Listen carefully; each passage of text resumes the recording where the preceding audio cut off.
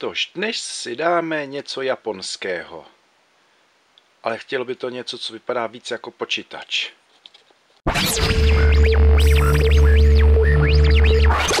Jistě se mnou budou šarpisti souhlasit, že evropských výrobců moc japonské počítače nevyrábělo. Vyráběli spíš japonští výrobci, jako například právě Sharp. U nás byl nejznámější Sharp MZ800 v různých svých variantách, hlavně proto, že se u nás za socialismu dal opravdu koupit, a to dokonce za koruny. I když v zahraničí, zejména v Německu, znali i jiné počítače od Sharpu, předchůdce MZ800, jako například MZ700, MZ80B, MZ80A a další modely.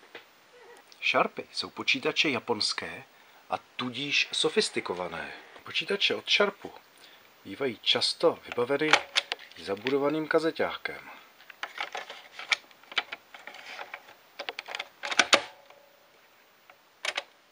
Sedmistovka může být místo magnetofonu vybavená též quickdiskem a má apartní kompartment na umístění čtyřbarevného plotru.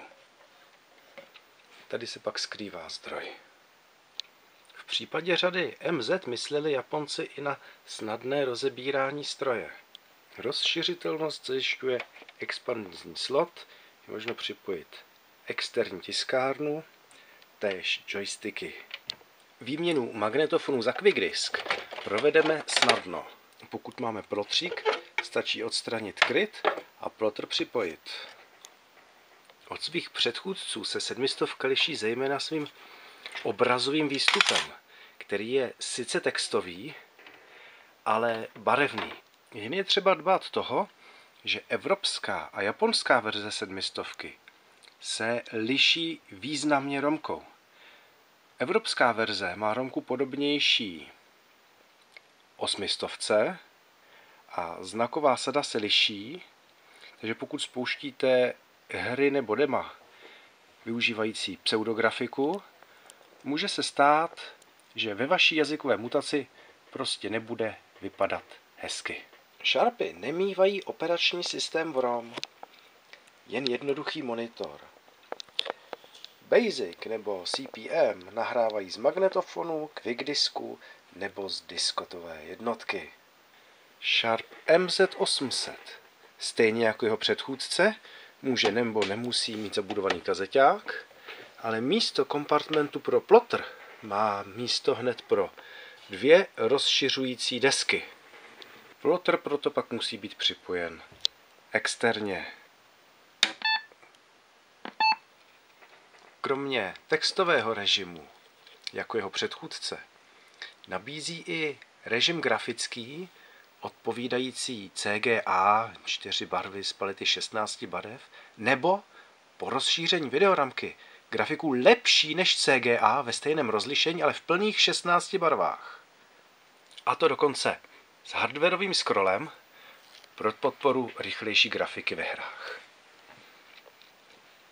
Když si mi jeden sběratel říkal, že by si osmistovku nabarvil na červeno, aby mu vznikl Sharp X1. Ovšem, když se na ty počítače podíváme, tak to není červená osmistovka. Ty počítače jsou jiné. Japonci tomuto počítači říkají Ekusavan, což je nejspíš japonská transkripce anglického X1. Zatímco řadu MZ vyráběla a vyvíjela divize počítačová telekomunikační, tak Sharp X1 a vůbec celou řadu X vyvíjela divize televizní. Sharp X1 si vyráběl v několika provedeních. Jednak jako desktop a druhá v takovéto kompaktní verzi. Desktop má oddělenou klávesnici, zabudovaný magnetofon a rozšiřující desky, zatímco kompaktní verze má klávesnici integrovanou v sobě, Zůstal ovšem na desce konektor pro externí klávesnici, což je zajímavé. Zůstává samozřejmě magnetofon a místo opět pro čtyřbarevný plotr. Stejně jako u řady MZ můžeme plotr osadit do místa uvolněného pod krytkou. Kromě RGB konektoru je přítomen i konektor pro dálkové ovládání monitoru přímo z počítače z jeho klávesnice, a to i při vypnutém počítači v případě desktopové verze. Bylo možné nastavovat na monitoru jas, hlasitost a přepínat mezi počítačem a televizí. Zde máme expandní slot, možnost připojení tiskárny, zvukový výstup, nastavování hlasitosti, připínání interní a externí tiskárny, tedy zabudovaného plotru a externího výstupu. A tedy máme pod slušivou krytkou dva joysticky.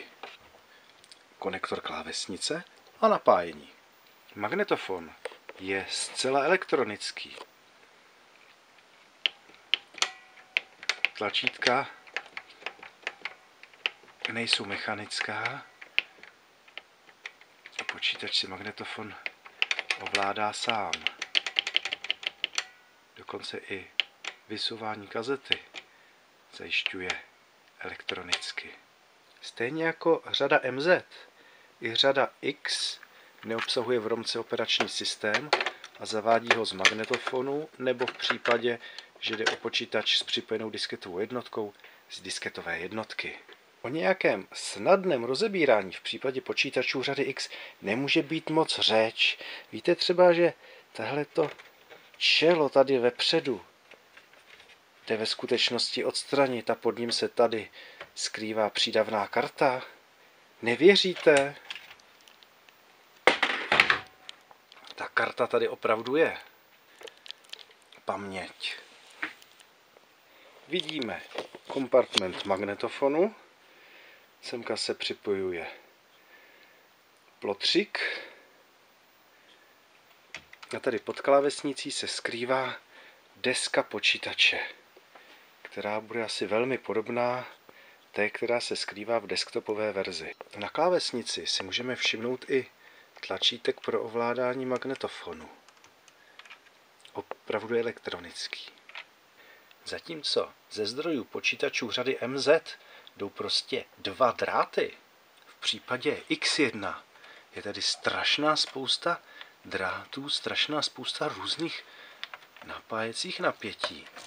A celé je tady to fakt nahňácené jako v nějaké televizi. Víme tedy, že počítače X1 neobsahují zabudovaný operační systém. Proč jsme prováděli tu rozborku a sborku počítače? Protože když ho zapneme počít, vypínačem zadu, tak se nic neděje. Ani se nerozsvítí kontrolka zap napájení. Počítač je mrtvý. Obrazovka černá. Můžeme cvakat vypínačem. Proudové rázy nějaké jsou, ale neděje se nic. No on totiž Japonec je tvor prefíkaný.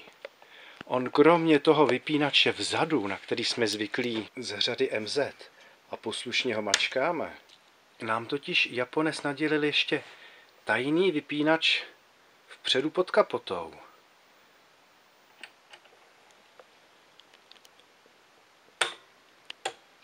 Všimli jste si? Počítač chce bootovat a sám si řekne o vložení kazety. V bootu se nám nabízí různá zařízení. Zvolíme tedy kazeťák.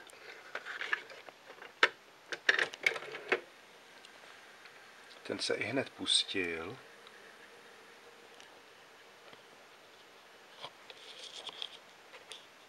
A nahráváme. Počítač nám signalizuje běžící magnetofon. Máme volných 23 kg paměti.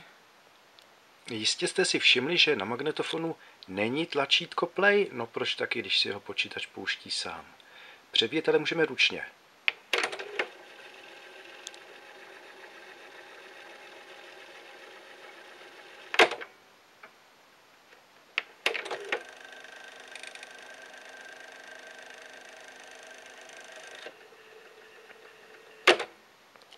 A vyhodíme kazetu. Pustíme si krátký programek v Basicu.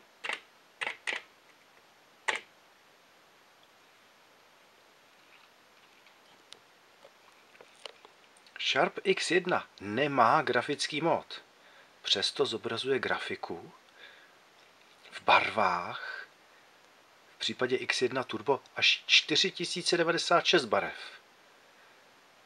Ten nádherný obraz je generovaný jako mnohobarevný znakový režim, což má výhodu ve hrách, ve kterých se pak všechno rychle pohybuje, protože se jenom překreslují znaky.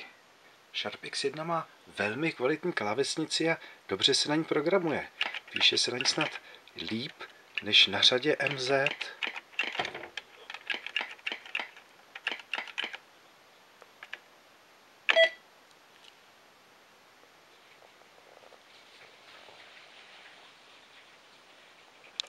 Teď si předvedeme, jak umí krásně barevně běžet.